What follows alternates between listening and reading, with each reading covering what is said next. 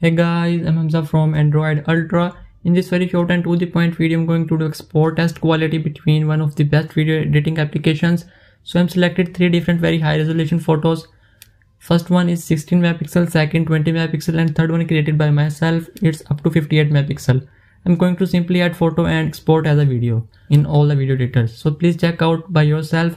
I'm also provide the Google Drive link of the original exported files is in the description so check out and let me know Adobe Rush supported up to 4K resolution videos and even photos. So in my opinion, KineMaster is one of the best all-rounder video editing application. On number 2, it's CapCut. CapCut is really good for reels and portrait type of videos.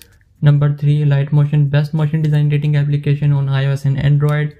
Number 4, Adobe Rush, worst 1080p quality in comparison to others. Adobe Premiere Pro is the one of the best video editing application no matter KineMaster versus Adobe Premiere Pro is not a fair comparison in my opinion. A lot of YouTubers do this saying KineMaster export qualities are rubbish and so on. Premiere Pro quality is no matter very good. In my opinion, KineMaster export quality is not a bad. You can get very good resolution quality even 4K. It's depending on your device. Share this video with those YouTubers who are comparing KineMaster versus Premiere Pro. I hope you enjoyed this video. If you're new to my channel, so please consider to subscribe and also press the bell icon to get more videos like this one. See you soon in next video.